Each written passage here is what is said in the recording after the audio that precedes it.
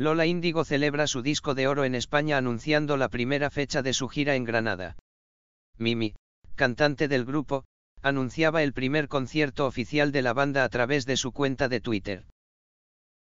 Mimi, concursante de OT 2017 y vocalista del grupo Lola Índigo, anunciaba en la mañana del 14 de agosto una gira por diferentes lugares de la geografía española.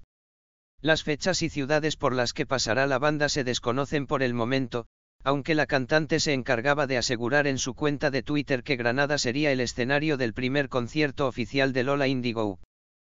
En mi tierra, la que me vio crecer, bailar y cantar, la que me inspira la vida, aseguraba Mimi en la red social, mientras dejaba la puerta abierta al resto de ciudades que completarían la lista de la que será su primera gira lejos de sus compañeros de concurso.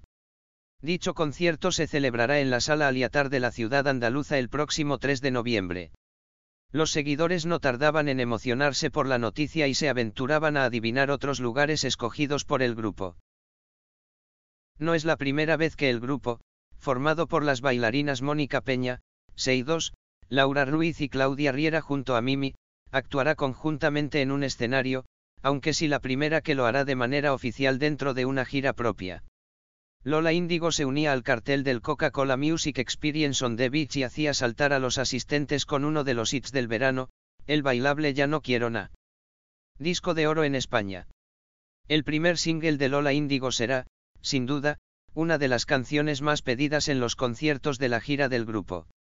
Ya no quiero na se colaba en las listas de temas más reproducidos y descargados en España y recientemente se hacía con la certificación de disco de oro. Gracias, gracias infinitas. De oro tienen el corazón toda la gente que me ha acompañado en este camino, agradecía Mimi en su cuenta de Twitter.